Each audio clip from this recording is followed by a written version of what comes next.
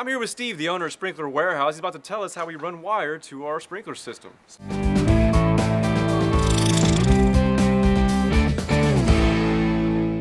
What kind of wire are we running today, Steve? We're, uh, we're going to be running direct burial irrigation wire today. It's 16 gauge wire and uh, it's made for direct burial so we do not have to worry about running conduit all the way back to the controller. We can just run the, the wire uh, in the ground in the same trenches as the pipe and we'll just tuck the wire up underneath the pipe just to protect it uh, from any shovels in the future or anything like that. The best we can, we'll tuck it up underneath. Uh, but again, we don't have to worry about running conduit because we are using wire that's, that's designed for direct burial out here in the yard. We're going to be running our wire from the controller. In this situation, it's in the backyard, in the garage. We're going to be coming from that controller around the back of the property, down the side of the house, and then across the front over here to our furthest valves away from the controller. So starting here, we need to make sure that we've got a red wire or a hot wire for each valve. In this case, we've got three valves, so we're gonna have three red wires. But you only need one common, that's it, not 10. Yeah, it's Okay. daisy chained. Yeah, daisy chain. We would normally run the wire straight from these valves all the way back to the controller and tucking the wire underneath the pipe to protect it. But we got to be careful. I always advise people walk the property back to the controller and make sure you're not going to cross any obstacles that would prevent you from running the wire. In this case, as as we've been discussing here and you can see, we've got a sidewalk to deal with. We've gone under it uh, earlier with a, a piece of conduit so that we prepared ourselves to go into this with wire.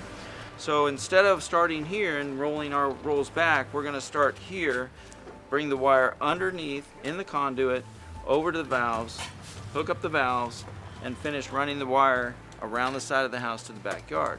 After we've done these, we'll start over here on these valves. We'll run our two red wires all the way back to the controller again. And then we'll finish up with our valves that are in the backyard and do the same thing. All right, now I've pulled the wire down to the valve. I'm gonna tuck it in underneath the pipe and I'm gonna leave about two and a half feet of coil because you wanna have about two and a half extra feet to coil up er, for, to protect for surges.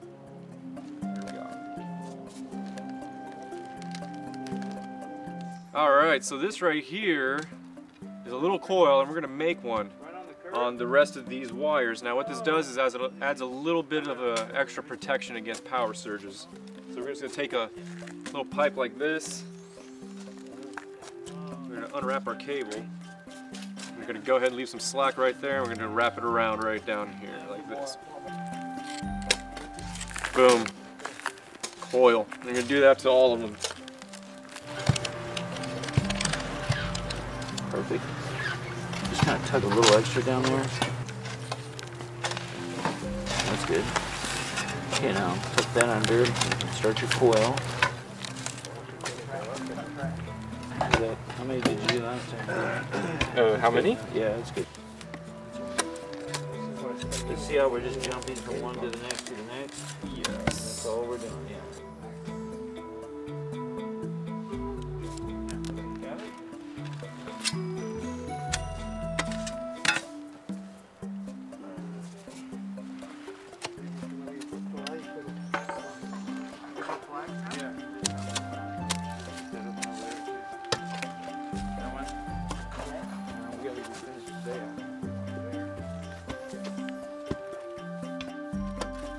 it. So it goes from this one to that one, to that one, to the control.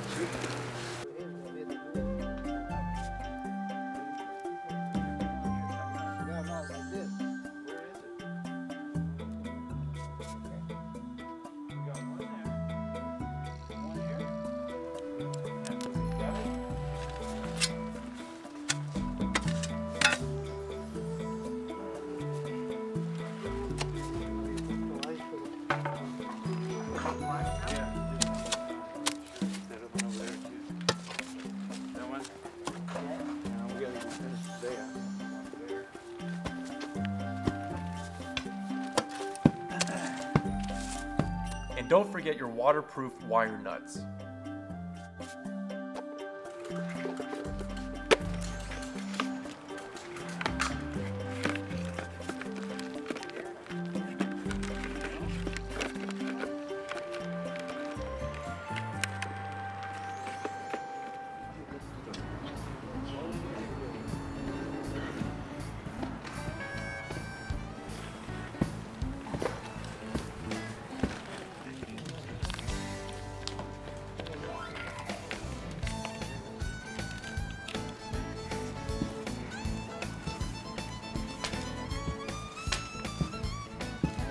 Alright, I'm gonna take the white wire only, and I'm gonna pull white wire.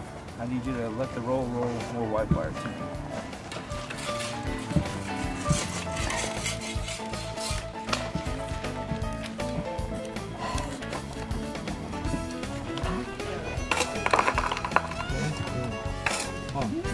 Good.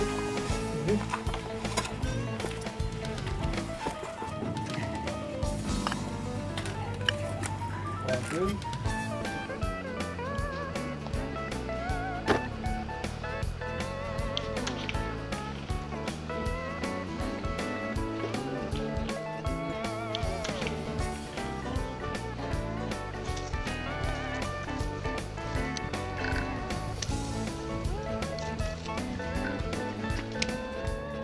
Now, in order to protect your wires from damage, you're gonna wanna run it through some PVC conduit from where it comes out of the ground all the way to your smart control.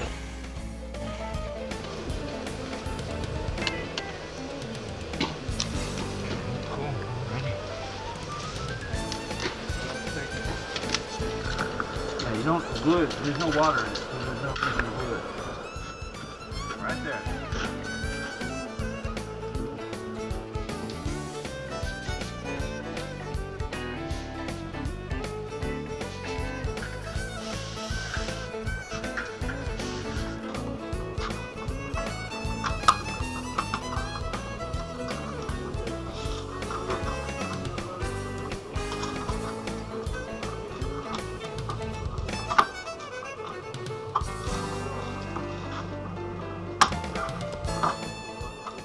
Right, now we got all the wires running to our controller. We have our rain sensor wire right here. We're gonna hook that up. We got our common wire. We're gonna hook that up as well. We're gonna turn the power onto this thing. And then what we're gonna do is we're gonna strip the red wires one by one and we're gonna touch them to a powered terminal. What that's gonna do is gonna start to isolate which wire goes to which zone because we don't know which wire goes to which zone at this point. So if we turn on terminal number one and start touching a wire to it, what's gonna happen is it's gonna turn on one of the zones in our yard. Let's just say that turns on number seven. We count one, two, three, four, five, six, seven, connect it to number seven over here, and go on down the line until we know which wire goes to which zone, and then we connect it to that corresponding zone. Let's get started.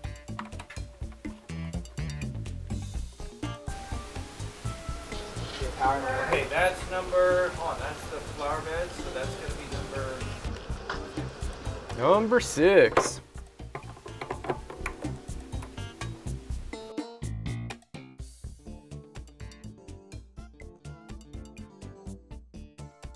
Remember, Sprinkler Warehouse has everything for your irrigation needs, so your trees, lawn, gardens, and flower beds are lush and beautiful.